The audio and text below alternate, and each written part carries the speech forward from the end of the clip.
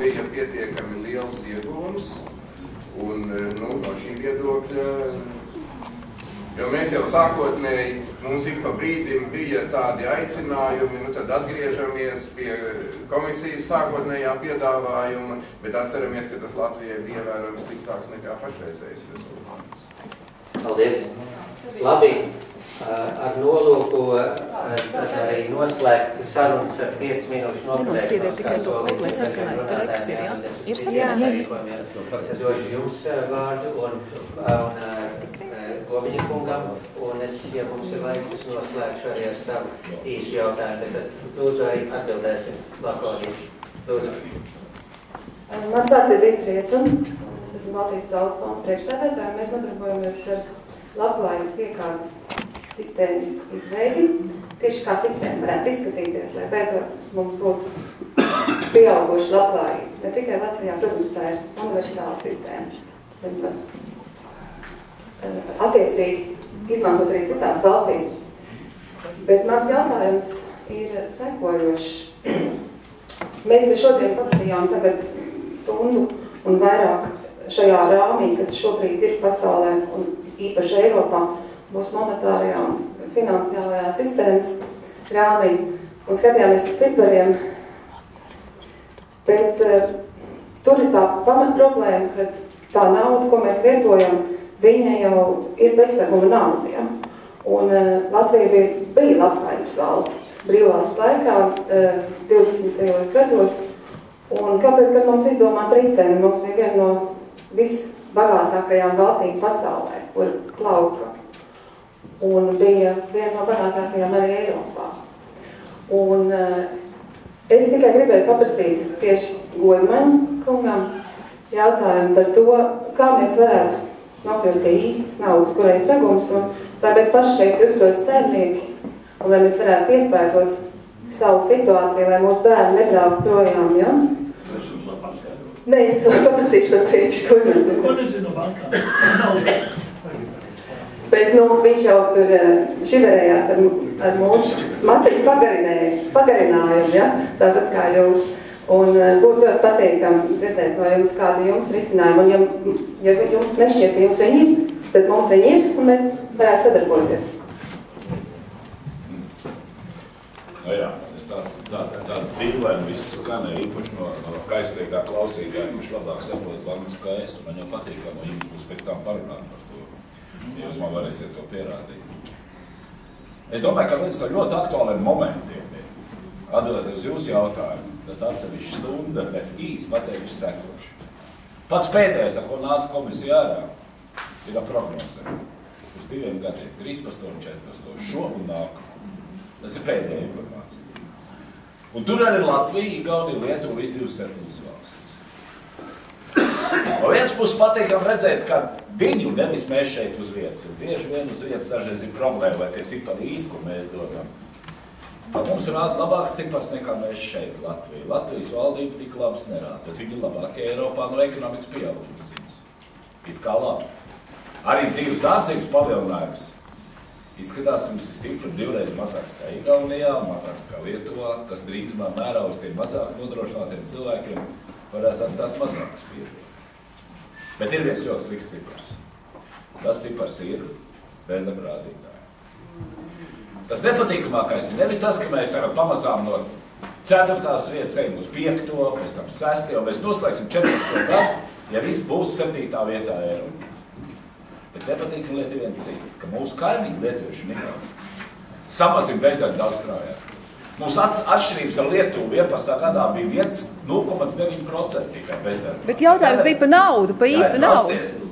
Nav tā nauda bez seguma vai seguma, te jūs jauciet fundamentāli naudas būtību. Nekāda tur nav nauda bez seguma. Tā nauda, ko iedod Eiropas komisija struktūra fondiem, ir izmantojama tikai tad, jūs savu naudu pieliekat klāt. Un tas jūsu personīgā nauda, vai tā ir zemnieka, vai tā ir kāda cita nauda, ir tas segums. Jo viņi jums nedod kā dāvana. Ir tā saucamais kofinansēšanas princips. Vai jūs savu naudu liekat iekšā, tad tas ir tas segums? Nē, tas Nevar ir- dabūt šos projektus. Nauda ir segums tikai dolāros, viņai nav nekādas reālas vērtības, un dolārs drukā federācijas. Mēs ejam sarunās, varam turpināt Kā nav vērtības? pie kafijas galda. Eiro nav seguma. Lūdzu. Dolāri! Lai visi varam piedalīties diskusijā. Nu, nav taisnība. Skundze, nav taisnība. Es neesmu kundze. Pilnīgi nepareizi. Dabiski. Apzinātiem vērts. Man būtu jautājums par procesu, un viens par procesu, un otrais par parlamentu pašcīņu, tādīgi drusku brutāli pateikt. Pirmais par procesu. Eh, Jūs teicāt, ka ir iespējams balsot par vai pret, bet kāpēc notiek šobrīd sarunas starp parlamentu komisiju un padomi? Acīm redzot, tomēr būs kaut kas, kur padome tādā kā kompromisa veidā būs piekāpīga, kā viņi to izdarīs tīri juridiski, es nezinu, bet eh, nu, diez vai notiktu sarunas tikai pašu izklaides brīvā laika iz, eh, nu, aizpildīšanas dēļ. Sarunas starp parlamenta frakciju grupu vadībām, eh, starp, starp komisiju un padomu, viņas šobrīd, vismaz cik man zināms, viņas notiek. Kāpēc tas tā ir? Jā, un tas būtu kontekstā arī ar manu jautājumu. Jā, parlaments, kā es izteicu sākumā, tik ļoti noteiktā veidā izteicās par to, ka nepieļaus drakoniskus griezienus, vai tas nebūs politiskā skatījumā zināms eh, zaudējums eh, parlamentam un kāda, tādēļ kādu eh, kompromisu šobrīd varētu izkalt, kas negroz šo kopsumu. Lūdzu, Žānas kundze. Nu, es jau par to esmu teikusi, varu tikai atkārtot. Strādājot pie šīs rezu, četru grupu rezolūcijas, mūsu cet- ceturta zaļie nonāca pie secinājuma, ka trīs pārējais jau gatavs uz šīm kompromisam, kurš, kurš neskar kopsumu, budžeta kopsumu. Kompromiss esot starp posmā budžeta pārskājumu, pret kuru mēs, eh, kurš priekš mums nav pietiekami, lai atbalstītu šo. Bet liekas, ka pārējās trijās grupās būs tie, kas balsos, es jau teicu, atkarība no savas valdības piekrišanas arī šim priekšlikumam. Un tas viss būs, un balsojums būs atklāts. Tas jau ir nolēmts, tur drusciņi Mārtiņš Šulcs biedēja padomi, ka būs uh, slēgts balsojums. Balsojums būs atklāts, būs redzams, kā katrs balso. Nu, man atbilde uz to jautājumu būtu apmēram tāda, ka mēs nedrīkstam jaukt taktiskās cīņas līdzekļus ar to reālo cerību, ko mēs gribam sasniegt. Es domāju, ka ja parlamenta frakcijas nebūtu ļoti stingri pateikušas, ka mēs neatbalstīsim un nebalsosim par budžetu, kurā būs samazinājums, tad es domāju, ka tas rezultāts būtu bēdīgāks nekā šeit. Bet, nu, tev ir jāsaprot, ka nekad tu nesasniegsi 100% no iecerētā. Tāpēc, teiksim, nu, tāda stingras pozīcijas demonstrēšana sarunu gaitā, es domāju, ka viņi ir devusi savus rezultātus. Bet nu, šobrīd, piemēram, tas, ko, ko Godmaņa kungs minēja par šo alternatīvu ļoti precīzi. Nu, ko tad mēs paliekam 13. gada ietvaros ar milzīgiem riskiem nākotnē. Bet, piemēram, es esmu diezgan, nu, varbūt lauksaimnieki teiks, ka ko tur no viena pilsētnieka var citu sagaidīt. Bet es esmu diezgan priecīgs, ka lai arī pēc piecapus gadiem, bet mēs iziesim no šīs apkaunojošās pēdējās vietas un sasniegsim nu, pietiekami civilizētu līmeni uz Eiropas vidējā fona tiešmaksājumos. Tā kā es domāju, ka rezultāts kopumā da dažādām valdību dalību valstīm būs ļoti dažāds. Poļi atbalstīs ar dziesmām, droši vien, ka Slovēņiem nepatiks šis budžets, latviešiem, nu, dažādi. Ždanoks kundze, protams, balsos pret, jo viņa vienmēr balso pret. Ja šodien Eiropas parlamentā būtu jautājums, vai šodien ir 1. marts, es nezinu, kā Ždanoks kundze nobalsot.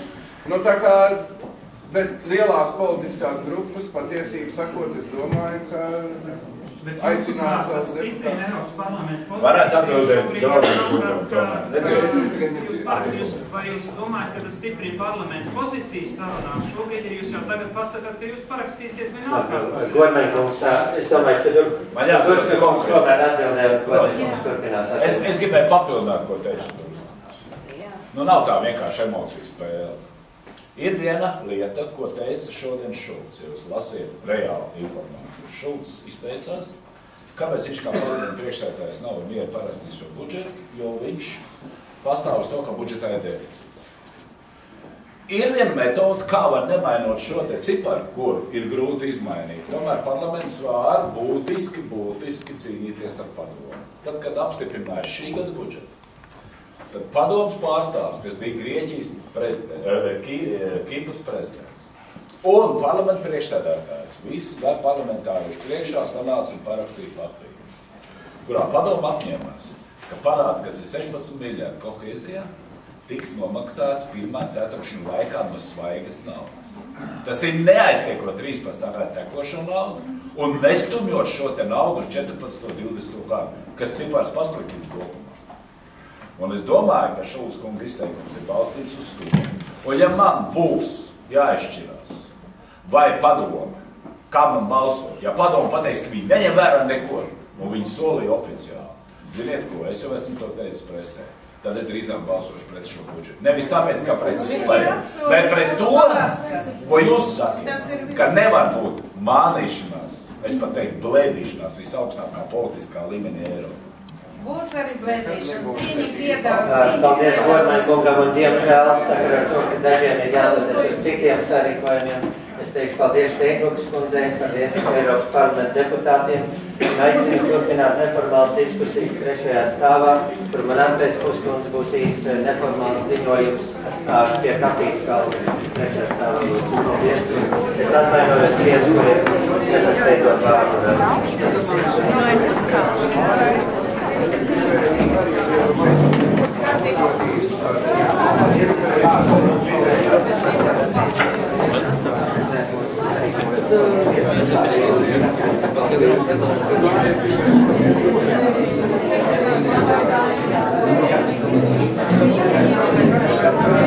uzkāpu.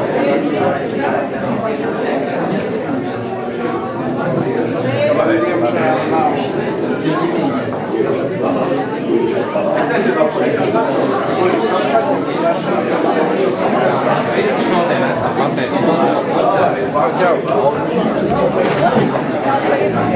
Cieši cilvēks, kas runā tukšu lietu. Jā. Ko jūs mēģinājāt viņam pateikt? Viņš neko nezina. Nu, nāksies mums kursus organizēt. Nāksies mums kursus taisīt jūsu